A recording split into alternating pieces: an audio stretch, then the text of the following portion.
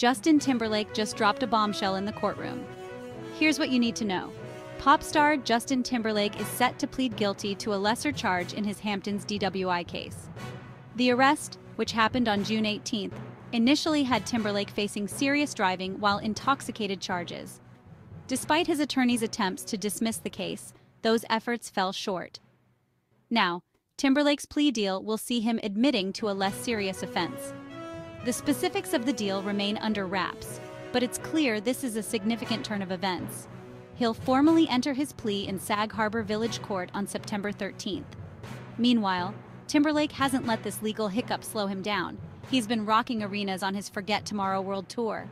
No word yet from his reps, but stay tuned. Details are sure to emerge after his court appearance. Don't forget to like and subscribe for the latest updates on this developing story. We'll keep you posted.